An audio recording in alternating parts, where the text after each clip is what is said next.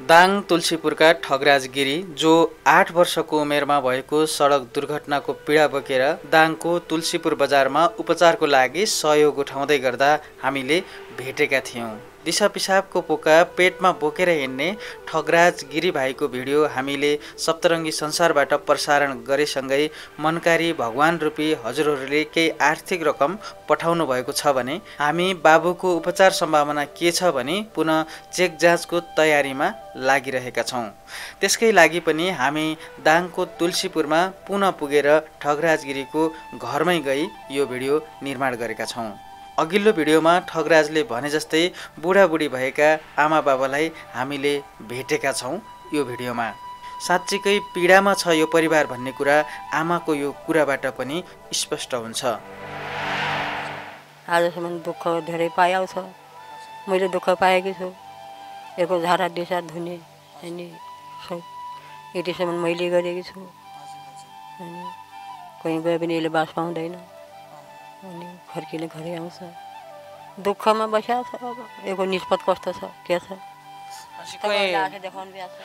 बासा बस्न गए पनि घरै आउनुपर्छ जहाँ गए पनि पास घरै आउनु पऱ्यो सबैले मलाई खेल्ना गर्छन् तना गर्छन् अनि गन्न आउँछस् त अहिले पर जा भन्छन् अनि म जानै जान्न जाने जान्न भनेर छोडिदियो गएन पर्ने त्यही हो। त्यही भनेर छोड। म मर्ने हो कि बाँच्ने हो कि? कति कर लाउँछौ मलाई कति पर्न जा भन्छौ म जान्न जान्न भन्यो मानेन क्या कति पनि।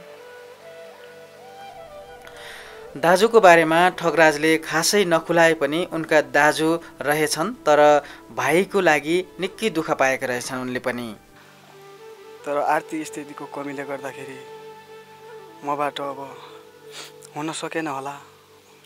बुढाबुढी बुवा आमालाई हेरिरहेको छु अब सम्पत्ति केही छैन। जमिन जग्गा अर्काको भए पनि जोतेर पाल्नुपर्छ। सबैतिर परिवारलाई हेर्नुपर्छ। त्यही भएको कारणले गर्दाखेरि भाइले भाइले भनिरह होला। भाइको लागि मात्र होइन बुढा भएका आमा बाबालाई पनि अर्काको जग्गा जमिन जोतेर पाल्दै आएका रहेछन्। भाइको उपचार अब त हुन्छ कि भनी उनलाई आशा पनि जाग्न थालेको छ। दर्शकहरू यो भिडियो अपलोड गरी तपाईँहरू माझमा ल्याउँदासम्ममा ठगराज गिरी भाइलाई हामीले काठमाडौँ टिचिङ हस्पिटलमा ल्याई चेक जाँच गराउँदैछौँ। रिपोर्ट आउन केही दिन लाग्नेछ उपचार सम्भावना के कति छ र खर्च कति लाग्नेछ भन्ने कुरा हामी अर्को भिडियोमा तपाईँहरूलाई अवश्य पनि जानकारी गराउनेछौँ। यो भिडियोलाई पनि धेरैभन्दा धेरै लाइक गर्नुहोला कमेन्ट गर्नुहोला सेयर पनि गर्नुहोला यो भिडियो र यदि अहिलेसम्म पनि च्यानल सब्सक्राइब गर्नुभएको छैन भने अवश्य पनि अब सब्सक्राइब गर्नुहोला। अनुरोध पनि गर्न चाहन्छु। आउनुहोस् अब हेरौँ ठगराज गिरी भाइको घरमै पुगेर गरिएको कुराकानी।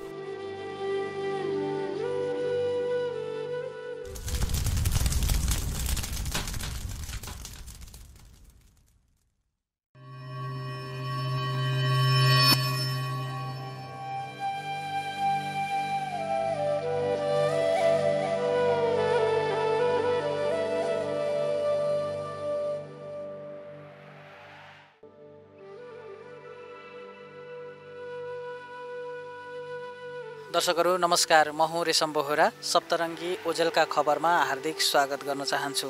आज म फलोअप रिपोर्टिङमा छु। यति बेला म तुलसीपुर उपमहानगरपालिका वडा नम्बर दुई कुइरे पानीमा आएको छु र तपाईँले नजिकै देख्न सक्नुहुन्छ ठगराज गिरी भाइलाई र तपाईँले योभन्दा अगाडि पनि सप्तरङ्गी संसारको पर्दामा देखिसक्नु भएको छ ठगराज गिरी भाइलाई।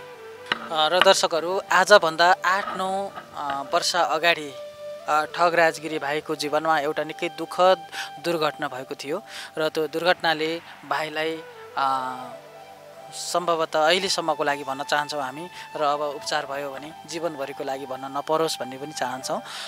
र अहिलेसम्म तपाईँलाई थाहा पनि छ भाइ दिशा र पिसाब पेटमा बोकेर हिँड्छन्।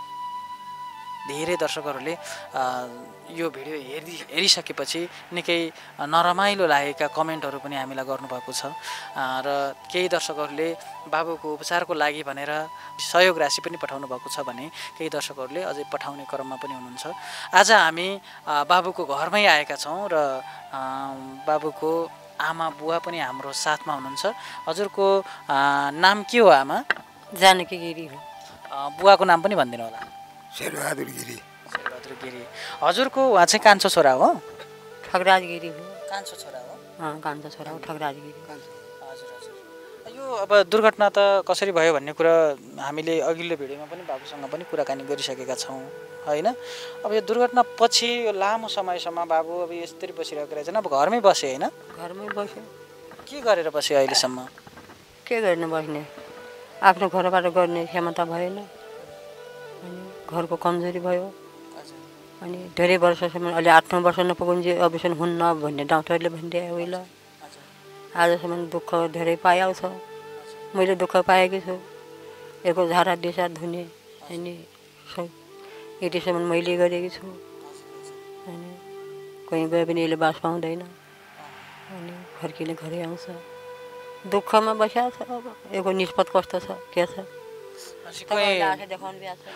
बासा बस्न गए पनि घरै आउनुपर्छ जहाँ गए पनि पासो घरै आउनु पऱ्यो अनि साँझ टपकै घरै आउनुपर्छ बस्दाखेरि अब त्यो जुन समस्या छ त्यही कारणले पनि है। त्यही हो। अब बिस्ताराहरू सबै धुनिया भइजान्छ कपडा लत्ता धुनिया अहिलेसम्म चाहिँ अब हजुरले गर्नु भएको छ। मैले गरेको छु दुःख शासन मैलाई छ। के गर्ने जिन्दगी यस्तै हारिया हारिने जन्मिया यसको खोजा यस्तै रहेछ कि मेरो यस्तै रहेछ कि के गर्ने अब अब जस्तै कि हामीसँग गर्दाखेरिको कुरा त एउटा हुन्छ नै फेरि घर परिवारमा सँगै बाबु तपाईँहरू मात्रै हुँदाखेरि केही कुरा त हुन्छ होला नि कस्तो कुरा हुन्छ कुरा त अब तपाईँहरूले आशा देखाउनु पऱ्यो हुन्छ कि भन्ने आशा छ नत्र त अब यस्तै कमाइकन गर्न सकिने पनि छैन केही चाहिँ एउटा सम्भावना पनि देख्यौँ र आशाका कुराहरू पनि जोडिरहेका छौँ। हाम्रो मनकारी भनौँ भगवान् जस्तै दर्शकहरू हुनुहुन्छ नेपाली हुनुहुन्छ देश विदेशमा छरिएर बस्नुभएको उहाँहरूले नै विभिन्न ठाउँमा हामीलाई साथ दिनुभएको छ। बाबुको लागि पनि साथ दिँदै हुनुहुन्छ होइन? बाबुको अब असम्भवै छ उपचारै हुँदैन भने त कसको के लाग्यो र? नत्र उपचार सम्भव छ भने चाहिँ उपचार गरौँ भनेर सबै लागिरहेका छौँ। सबै लागिरहनु भएको पनि छ होइन? अब एउटा उपचारको कुरा गर्नु पर्दाखेरि उम्, हामीले नेपालगञ्जमा चेकअपको लागि के छ उपचार सम्भावना भनेर पनि हस्पिटलमा लगेर चेकअप पनि गरेका छौँ। के के कुरा भयो त्यो कुरा पनि अवश्य जोड्नेछौँ र अब काठमाडौँ लैजाने तयारी पनि छ। यिनी कुराहरू पनि हामी अवश्य पनि गर्नेछौँ त्यही पनि त्योभन्दा अगाडि हामी हजुरहरूसँग कुरा गरौँ। पारिवारिक अवस्था कस्तो छ? बाबुलाई बाटोमा भेटेर त कुरा त गरियो तर पारिवारिक अवस्था के बाबुले गरे जस्तै हो त भन्ने कुरा पनि वास्तविकता के हो भनेर देखाउनको लागि पनि हामीसम्म आएको हो होइन? हजुर। बुवा एउटा जवान छोरा होइन? भनौँ न यो हालतमा देख्दा दुःख त आफ्नो ठाउँमा छँदैछ। छ मलाई भन्ने ठुलो भुटो यसको यसको भुटो छ अनि ठुलो पिर छ छातीमा मलाई ढुङ्गो पछाएको छ यसको चिन्ता बढी छ अनि मलाई यस्तै सबै भन्ने होइन? सम्पत्तिबाट कमजोरी भयो कमजोरी छु मेरो भन्ने हत्या छ यो केटाको यिनी हामी बाबा आमाको सुसाइड गर्ने हामी नै हौँ। बडा हत्या छ अनि सम्पत्ति धेरै छैन गरिब दुःखी यस यस्तै हो। गरिब सम्पत्ति धेरै छैन हजुर। अनि यस्तै चाहिँ कमजोरी धेरै भइयो। यसको पिरले गर्दाखेरि बाबामालाई बाबामालाई ठुलो पिर छ यसको धेरै सम्पत्ति पनि छैन गरिब दुःखी परियो यस्तै हुन्। भइरहेको थियो। यसको चिन्ताले यसको चिन्ताले मान्छेले मेरो बाउको र आमाको यसको चिन्ताले खतम भइसकेको छ? पढाइको कुरा पनि थियो होइन? हामीले जोडेका पनि थियौँ। बाबुले पढ्न पनि पढेनन् होइन? कतिसम्म पढे? पढेन। तिन तिन क्लास पर्या हो। यो गाईले हान्ने बेला तिन क्लास पर्या थियो। त्यहाँ पछाडि एक दुई वर्ष अब गएन स्कुल जानु सकेन। नजिकै छ स्कुल हिमाथि जा भने हामीले करलाइन पठायौँ अलिअलि पढ्यो दुई चार महिना। सबैले मलाई खेल्न गर्छन् तना गर्छन् अनि गर्नु आउँछस् त अहिले पर जा भन्छन् अनि म जानै जान्न जाने जानु भनेर छोडिदियो गएन पढ्नु। त्यही हो। त्यही भनेर छोड्नु। म मर्ने हो कि बाँच्ने हो कि? कति कर लाउँछौ मलाई कति पढ्नु जा भन्छौ म जान्न जान्न भन्यो मानेन क्या कति अ, यो कुरा त हामीलाई पहिला पनि जानकारी गराइसकेका छन् बाबुले। फेरि पनि हामीले भेटघाट भइसकेपछि बाबुलाई नेपालगञ्जसम्म जान भनेर अनुरोध पनि गरेका थियौँ र काठमाडौँ पुगेसँगै डक्टरसँग हामीले परामर्श पनि गरेका थियौँ बाबुको विषयमा र डक्टरको सल्लाह अनुसार पहिलो चरणमा अहिले अवस्था के छ भनेर नेपालगञ्जसम्म चेक गर्नको लागि पनि भनेका थियौँ। गयो होइन बाबु? गएँ। के भन्नुभयो डक्टरले? डक्टरले यहाँ हुँदैन काठमाडौँ हुन्छ कि क्या भन् भन् भन्नुहुन्थ्यो। हुँदैन भन्नुभयो त्यहाँ। के के चेक गर्नुभयो? यो दिसा पिसाब गर्ने के तिनी नसाहरू भित्रको च्याप्या भने काठमाडौँ गएपछि हुनसक्छ भन्नुभएको छ? त्यहाँ हुनसक्छ भन्नुहुन्थ्यो। हामीले पनि यही खबर पाएका थियौँ र अब सम्भवतः छिटोभन्दा छिटो बाबुलाई काठमाडौँ लगेर चेकअप गरिनेछ र त्यसको जानकारी पनि तपाईँहरूलाई अवश्य पनि गराउनेछौँ यति जति हामीसँग रकम छ यो रकम बाबुको उपचारको लागि पूर्ण हुन सक्दैन। हामी अधुरो हुन्छौँ र बिचैमा उपचारलाई टुङ्गाउनु पर्ने बाध्यता पनि हामीसँग आउन सक्छ। त्यस कारणले फेरि पनि हामी उपचार सम्भावना सहित एउटा आशा पनि जगाउनु जगाउनु भएको छ भनेर आमाले पनि भनिसक्नु भएको छ। यो आशालाई नमर्न दिनको लागि हजुरहरूले अवश्य पनि साथ दिनु होला फेरि पनि अनुरोध गर्न चाहन्छु। अब हामी धेरै कुरा गर्नुभन्दा पनि बाबुको बारेमा जानकारी धेरैलाई छँदै पनि छ। बाबुको अलिकति अस्ति हामीले दिसा पिसाब हुने कसरी हुन्छ भन्ने तरिका चाहिँ खासै देखाएनौँ यो मात्रै देखायो होइन? आज त्यो पनि हल्का देखाउने प्रयत्न गरेछौँ कसरी सफा गर्छन् होइन? त्यो विषयमा पनि हामी देखाउनेछौँ। अनि अरू पारिवारिक अवस्था कस्तो छ आमा? घरमा को को हुनुहुन्छ? घरमा अब पाँचजना छौँ। जान परिवार भन्ने कुरा तिन कट्ठा छ। दुखी पऱ्यौँ दाजुभाइ अनि दिदी बहिनीहरूले सबैले सहयोग गरिकन एक उपचार हुन्छ कि भन्ने आशा लागेको छ। तपाईँहरूले आशा देखाउनु भयो। र नतरी भने "ए, उपचार गर्नु सकिन्न मर्ने त होला भन्नेमा थियौँ क्या र। अब त हुन्छ कि केही? भन्ने आशा लागेको छ अहिले कस्तो हुने क्या? हुने अब अलिकति यहाँ सहयोग पनि गरिसक्नु भएको छ। म यो सहयोग गर्नेहरूको नाम दर्शकहरू हामीले ठगराज गिरी भाइलाई तुलसीपुरको बजारमा माग्दै गरेको अवस्थामा भेटाएका थियौँ र हामीले कुराकानी पनि गरेका थियौँ र त्यति बेला हामीलाई हङकङबाट पठाउनु भएको गोमा देवी शर्मा दिदी लगायत अन्य पन्ध्रजना दिदीहरूले पठाएको पाँच हजार रुपियाँ सहयोग पनि गरेका थियौँ। त्यसै गरी अहिलेसम्ममा हामीलाई ठगराज गिरी भाइको लागि भनेर सहयोग रकम पठाउनु हुने तपाईँहरूको नाम म यहाँ लिन गइरहेको छु। कतारमा हुनुहुन्छ नाम नबताउने भन्नुभएको छ। उहाँको घर बुटोल हो र उहाँले बिस हजार रुपियाँ पठाउनु भएको छ ठगराज गिरी भाइको लागि। दावा शेर्पा दिदीको पहलमा युएसएबाट पासाङ किपा चुङमा छिरिङ लाक्पा दिदीहरू मिलेर पन्ध्र हजार रुपियाँ पठाउनु भएको छ र पन्ध्र हजार पठाउनु भएको छ। जेठबहादुर घरती मगर भीमबहादुर गुरुङ साउदी अरबबाट। त्यसै गरी रविन्द्र राई हुनुहुन्छ मोरङ डाँगी हाटबाट र कृष्ण राई हुनुहुन्छ मोरङ पथरीबाट। मकाउमा हुनुहुन्छ छ हजार रुपियाँ पठाउनु भएको छ।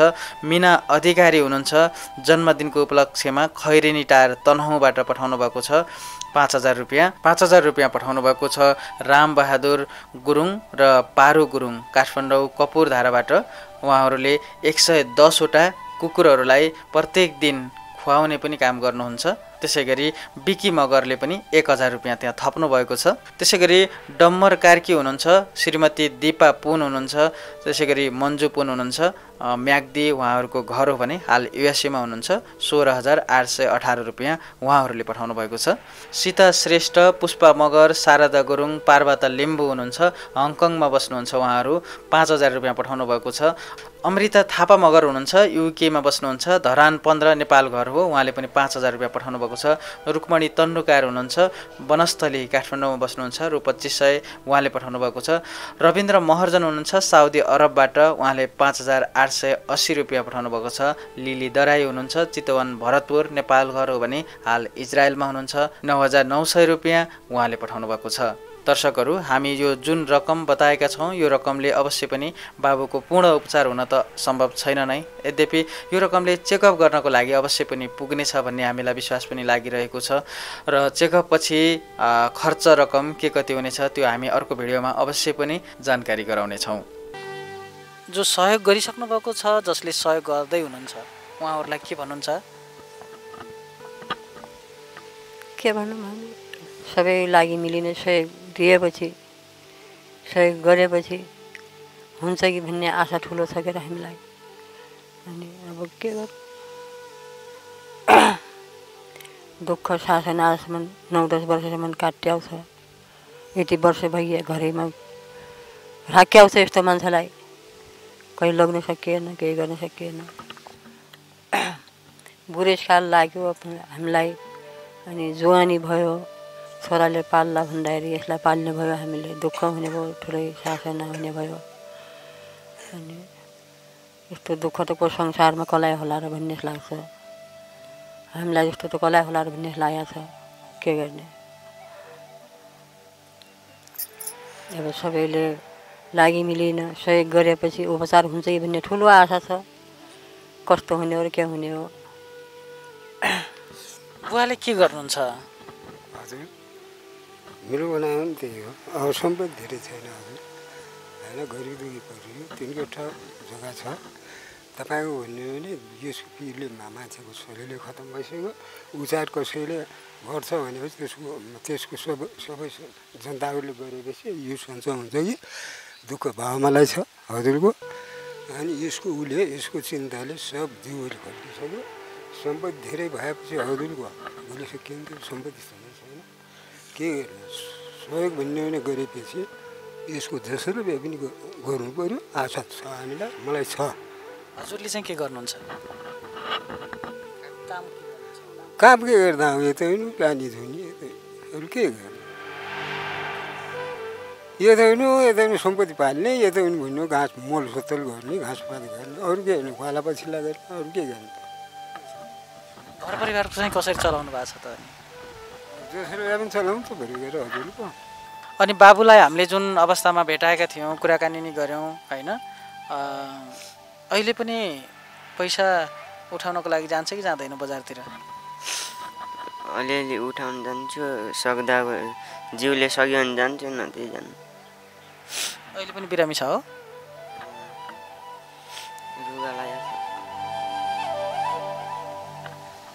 अब काठमाडौँ कहिले जाने त? खै त कहिले हुन्छ। सल्लाह गरेर एकपटक चेकअप गर्नको लागि काठमाडौँ जानु पऱ्यो है उपचार सम्भावनाको कुरा छ अझै पनि के छ त सम्भावना? अब जुन अब नेपालगञ्ज गएर चेकअप गरेको छ त्यहाँबाट यहाँ अलिकति गाह्रै छ काठमाडौँ जानु भनेर चाहिँ डक्टरहरूले भन्नुभएको छ होइन? भनेपछि अब काठमाडौँ जानु पऱ्यो होइन? काठमाडौँ गइसकेपछि डक्टरहरूले के भन्नुहुन्छ त्यो अनुसार फेरि अगाडि बढ्ने कुरा हुन्छ। अवश्य पनि हामीले दर्शकहरूलाई पनि यही अनुरोध गरिरहेका छौँ। हामी त्यो खबर पनि तपाईँहरूलाई अवश्य पनि जानकारी गराउनेछौँ। र बाबुको चेकअप पछि उपचारको कुरा छ र हामीसँग के कति रकम जम्मा भएको छ त्यो तपाईँहरूलाई जानकारी गराएका पनि छौँ। र यो रकम अवश्य पनि अपुग हुनेछ। तपाईँहरूलाई सहयोग गर्नको लागि अनुरोध पनि गर्न चाहन्छौँ र सहयोगको लागि हामी माध्यम पनि यो भिडियोमा छोडिरहेका छौँ। त्यहाँबाट र पहिलो कमेन्टमा पनि गएर तपाईँले खातामा पैसा जम्मा गरिदिन सक्नुहुन्छ जुन हामीले त्यहाँ राखेका छौँ खाता नम्बर। अब के भन्न चाहन्छ बाबु? केही सम्भावना सहित धेरै दर्शकहरूले माया पनि गर्नुभएको छ साथ पनि दिँदै हुनुहुन्छ र दिइरहनु पनि भएको छ। के भन्छ उहाँहरूलाई? के भन्नु सबले राम्रो गराइदिनु मलाई अलिअलि पैसा जुटाएर। भन्न चाहन्छ होइन? दर्शकहरू हामीसँग ठगराज गिरीको दाई प्रेम गिरी हुनुहुन्छ। उहाँले ठगराज गिरीको लागि दुर्घटनादेखि अहिलेसम्म नै एकदमै रेखदेख स्याहार सुसारदेखि लिएर उपचारको क्रममा पनि धेरै दुःख गर्नुभएको छ। उहाँलाई पनि म सप्तरङ्गी संसारमा जोड्न चाहन्छु। स्वागत छ हजुरलाई। धन्यवाद। भाइले त खै दाई कता कता हुनुहुन्छ भन्नुहुन्थ्यो तर हामी यहाँ आउँदाखेरि हजुरलाई भेटायौँ र हजुरले भाइप्रति गरेको यो काम देख्दा साँच्चीकै अलि लोभ पनि लाग्यो कि? यति धेरै माया गर्नुहुँदो रहेछ भाइलाई होइन? तर पनि भाइले फेरि त्यस्तो भन्नुभयो किन त्यस्तो भन्नुभएको रहेछ? हजुर खै अब भाइले के हिसाबले भन्यो भनेपछि अब मलाई दाइले भएर औषधि उपचार गर्दैन। ऊ भनेर भन्यो होला भाइले अब। मैले भाइका लागि गर्नु त धेरै खोजेँ र धेरै पनि अझै पनि गरिरहेको छु र भाइका लागि आठ वर्षसम्म खटेर गरिसकेँ। तर आर्थिक स्थितिको कमीले गर्दाखेरि मबाट अब हुन सकेन होला। बुढाबुढी बुवा आमालाई हेरिरहेको छु। अब सम्पत्ति केही छैन। जमिन जग्गा अर्काको भए पनि जोतेर पाल्नुपर्छ। सबैतिर परिवारलाई हेर्नुपर्छ। त्यही भएको कारणले गर्दाखेरि भाइले भाइले भनिरह होला। तर साँच्चीकै एउटा गरिब परिवारमा जन्मिनु पनि एउटा अभिशाप होइन? तपाईँको कुरा अघि अनौपचारिक रूपमा सुन्दाखेरि पनि के होइन? एउटा त गरिब परिवारमा जन्मियो त्यसपछि भाइको यो विकराल अवस्थाले गर्दाखेरि भनिन्छ नि टाउको उठाउने ठाउँै मिलेन होइन? जस्तो चाहिँ हजुरले महसुस गर्नुभएको रहेछ। हजुर मैले महसुस गरिरहेको छु धेरै। तर घटना घटाएदेखि आजसम्म सबै मलाई थाहा छ दुःख कति गरेँ भाइको लागि तर दुःख त गरेँ तर दुःख गरे पनि भाइको लागि उपचार गर्न मैले सकिरहेको छैन अहिलेसम्म। किनकि कमजोरी अब मेरो कमजोरी भनौँ भने अब आर्थिक स्थिति नै छैन मैले कसरी गर्न सक्ने। त्यही भएर अब डक्टरसँग पनि मैले भेटिरहन्छु चेक गर्न लगिरहन्छु। अस्ति हजुरले हुन त योभन्दा अगाडि दुर्घटना हुँदाखेरि नि इन्डियासम्म लाने पनि हजुरले नै रहेछ होइन? हजुर इन्डिया पनि मैले लगेँ अस्पतालमा। हजुर अनि अस्ति जुन तपाईँको मेरो कुरा भयो अनि नेपालगञ्ज हस्पिटलमा लानुभयो मेडिकल हस- हस्पिटलमा खास चाहिँ के भन्नुभयो डक्टरले त्यहाँ? डाक्टरले के भन्नुभयो भनेपछि जुन पहिला अपरेसन गरेको डाक्टरसँग भेटेर कुराकानी गर्दाखेरि अनि उहाँले पनि अब उहाँलाई नै गर्नुभएको थियो पहिला? अँ, हजुर अँ पहिलेको डाक्टरसँग नै भेटेर कुराकानी भयो। अनि उहाँले अब यहाँ हुँदैन एकचोटि काठमाडौँ लगेर देखाउनुहोस् त्यहाँ ठुल्ठुला डाक्टरहरू हुनुहुन्छ। बाहिर देशबाट डाक्टरहरू आउन सक्नुहुन्छ हेर्न सक्नुहुन्छ। यहाँ अहिले सम्भव छैन अहिले गाह्रो छ धेरै पैसा लाग्छ भन्ने जस्ता कुराहरू गर्नुभयो उहाँले। अनि त्यही भएर अब सहयोगको लागि मैले अब हजुरहरूलाई सबैलाई मेरो भाइको उपचारको लागि सहयोग गरिदिनु होला भन्न चाहन्छु। अब हजुरले त भनिहाल्नुभयो आफ्नो तर्फबाट भाइको लागि गर्नुपर्ने भौतिक सहयोग गर्नुभएको छ तर आर्थिक सहयोग त आफै जोतेर यसो गरेर उसो गरेर बुढा भएका आमा बाबालाई पाल्नु परेको छ भाइको लागि हेर्नु परेको छ आफै पनि पालिनु परेको छ होइन? बि बिहे बारी पनि गरिसक्नुभयो? बिहे पनि भर्खर गरे हो। उता पनि फेरि जिम्मेवारी छँदैछ होइन? जिम्मेवारी थपियो होइन? अब के गर्ने? अब रोजगार छैन के छैन पैसा छैन बिहा गरिएको अब के गर्ने? अर्काको खेत लगाएर खाने मान्छे जोतेर कहिले खाना पनि पुग्दैन कहिले हुन्छ कहिले हुँदैन। यस्तै उता भाइलाई पनि हेरिरहनुपर्छ। अब गर्नको लागि त धेरै गरिरहेको छु। अझै पनि म भाइको लागि गरिरहेको छु। आफूलेबाट हुने सहयोग चाहिँ गरिरहेको छु। के छ घरको अब तयारी? होइन काठमाडौँ जानको लागि। अब काठमाडौँतिर लगेर भाइलाई एकचोटि अस्पतालमा देखाउँछु मैले डाक्टरसँग कुरा गर्छु। अनि डाक्टरले के भन्नुहुन्छ? अनि डाक्टरको सल्लाह अनुसारले हिँड्छु म अवश्य पनि हाम्रो दर्शकहरूलाई पनि थाहा छ हामीले सम्भव भएसम्म तपाईँहरूलाई काठमाडौँमा साथ दिनेछौँ। हामी धेरै जसो काठमाडौँभन्दा बाहिर भएको कारणले सकेसम्म हामी काठमाडौँ हुँदाखेरि तपाईँहरूले काठमाडौँ आउने सेड्युल मिलाउनु होला। हामी एक आपसमा सल्लाह पनि गरौँला फोन पनि गरौँला। है त अलिक व्यस्त भएको कारणले बाहिर हुन सक्छौँ हामी। त्यो कारणले फेरि हामी बाहिर भएको बेलामा काठमाडौँ जानुभयो भने हामीले आफ्नो तर्फबाट गर्ने सहयोग अलिक गर्न नसकेला कि भन्ने मात्रै हो। सकेसम्म हामी काठमाडौँ भएको बेलामा हजुरहरूको आउने टाइम मिलाउनु भयो भने हामी पनि आफ्नो तर्फबाट गर्नुपर्ने सहयोग गर्नेछौँ अवश्य पनि। हजुर गर्नुहोला तपाईँको आशा लागिरहेछ। किनकि अब यत्रो आठ वर्ष अगाडिको कुरा हजुरले अहिले यसरी भाइको लागि यस्तो गर्नुभएको छ तपाईँहरूले। अहिले आशा लागिरहेछ हजुरले मेरो भाइको उपचारको लागि केही न केही सहयोग गर्नुभएको छ भन्ने कुरो मलाई सबै थाहा भइसकेको छ। अझै पनि भाइको उपचार हुन्छ हुन सक्छ भन्ने मैले आशा मानेको छु। धन्यवाद।